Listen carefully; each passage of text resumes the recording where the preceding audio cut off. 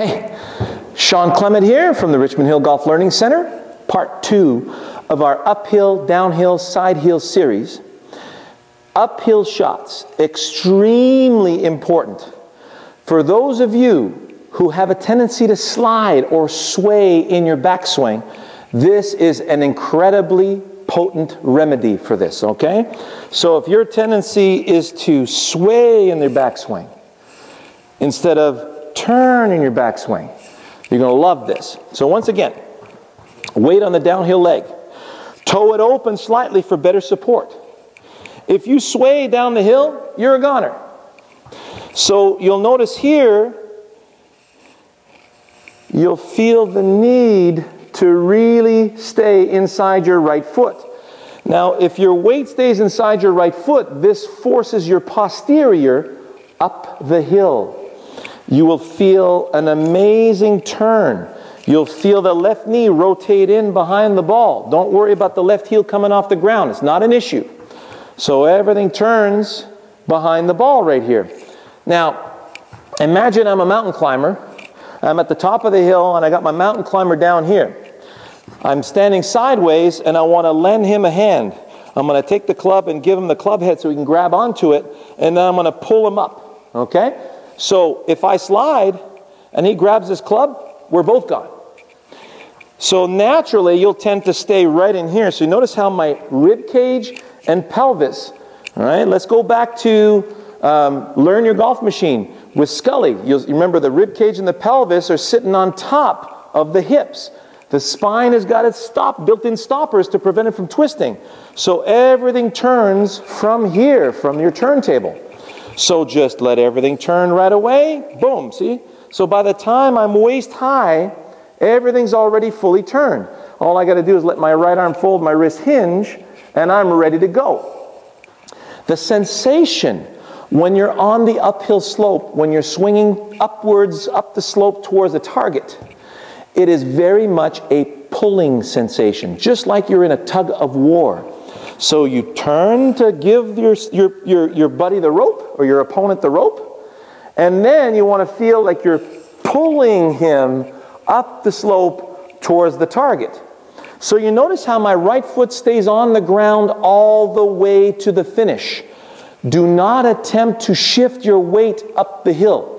In order for me to shift my weight up the hill, I have to lean into the hill. If I lean into the hill, I will compromise my angle, my axis of rotation here.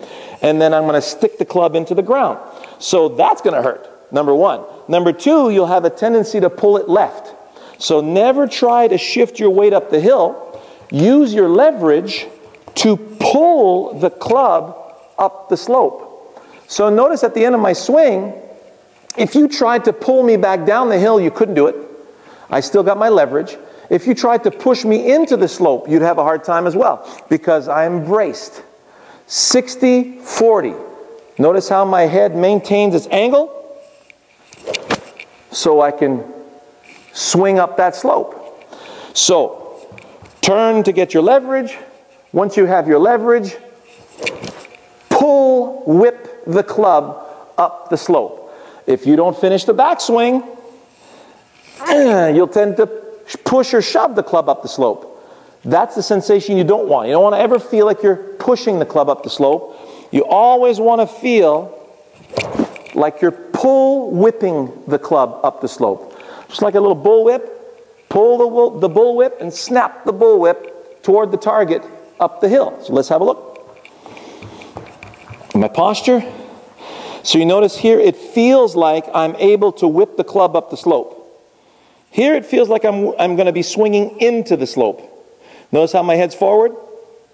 Here it feels like I'm going up the slope, inside my right foot, still inside my right foot. Pull my club up the slope. So notice how balanced I am in my finish position right here. And how bolted I am to the hill. I'm king of this hill, okay? That's how you want to feel at the end of the swing. You want to feel that you are the king of that hill, all right? Or queen. so, nice grip, nice posture. Get ready to swing up the slope. Now, if I whip, pull whip the club up the hill, does it feel like the ball and the turf in front of the ball are in the way? Yes, it does.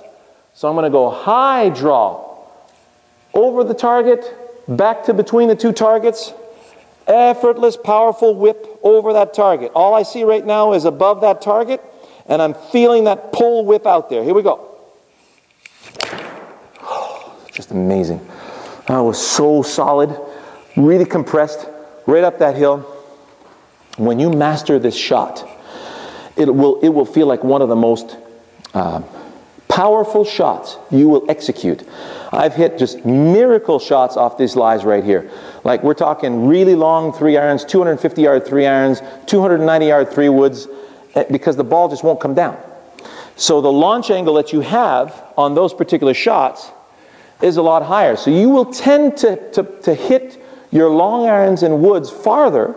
I mean, obviously, you have to have a decent lie. Number two, when you get to the shorter clubs, like the 9 iron, it'll tend to go a lot higher. So if you're into the wind, take that into consideration. It will be a moon shot. And you will lose a little bit of distance with the short irons. Mid irons will stay about the same, they'll just go much higher. So take the wind into consideration. If you're downwind, it'll go much farther. If you're into the wind, it'll go a lot shorter. Okay? So, grip, posture. Get ready to pull the club up the hill. Here we go. I'll put one in slow motion for you guys right now. All right, here it is.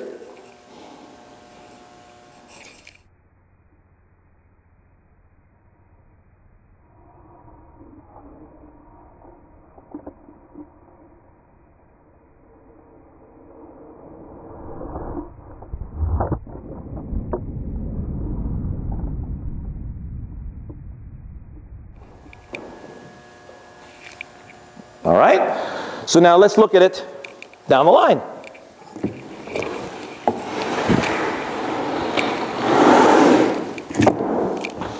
So if I'm going up the slope, get ready to go up the slope, notice how it looks like I'm going go high and right. Now I'm already behind the ball right now. So at impact, see where I'm going? You see the blur of the club, how it's going straight? It looks like I'm going to the right at address, but watch the blur. There we go. So that's going to be going between the two posters right there.